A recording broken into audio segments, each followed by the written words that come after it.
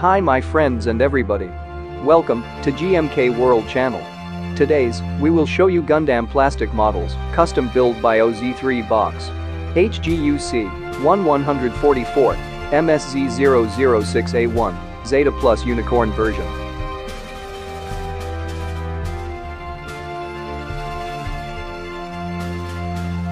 The MSZ006A1 Eta Plus A1, Z Plus A1, is a part of the Zeta Plus line of mass production mobile suits. The A1 type was the first mass-produced successor to the MSZ006 Zeta Gundam. It was featured in the photo novel Gundam Sentinel.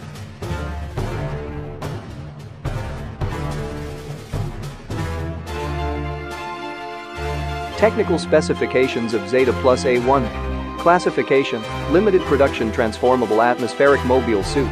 Model number, MSZ006A1, MSK006. Official name, Zeta Plus A1. Head height, 19.86 meter. Overall height, 22.11 meter. Base weight, 32.7 metric ton. Full weight, 68.4 metric ton. Power source, Minovsky Ultra Compact Fusion Reactor. Generator output, 2070 kilowatt. Armor material, Gundarium Superscript 3 alloy composite. Total thrust, 5 times, 12,200 kilograms, 2 times, 10,600 kilograms, 4 times, 7,600 kilograms, 101,000 kilograms, total thrust. Attitude control verniers, 8. Maximum acceleration, 1.48 gravity.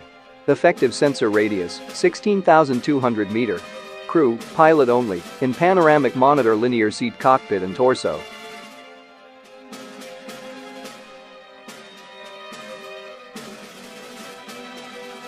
Finally, this is HGUC 1 144th, MSZ006A1 Zeta Plus Unicorn version, custom built by OZ3 Box. For more information, go to http oz3box.ikidane.com slash hg20zplus.html. Thank for watching. For news and more information about Gundam plastic models kits, please subscribers GMK World channel.